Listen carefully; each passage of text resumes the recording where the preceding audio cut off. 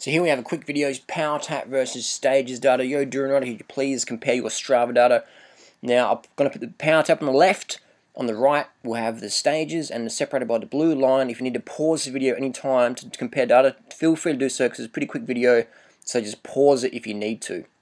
Power Tap on the left, stages on the right. Again, pause the video anytime you need to and then replay or keep playing whatever you need to do. So for me, the Power Tap is very consistent, as is the stages. Power Tap generally a few less wattages, and the stages generally a little bit more. But again, the most important thing for me is consistency when I'm actually pacing on the climb. That's what matters the most. The Power Tap lets you pace properly, and so does the stages. For me, they're equal when it comes to pacing on a climb. Both as good as each other. Okay, I'm going to quit talking now, and you can just compare the data. Post your comments down below. See you soon.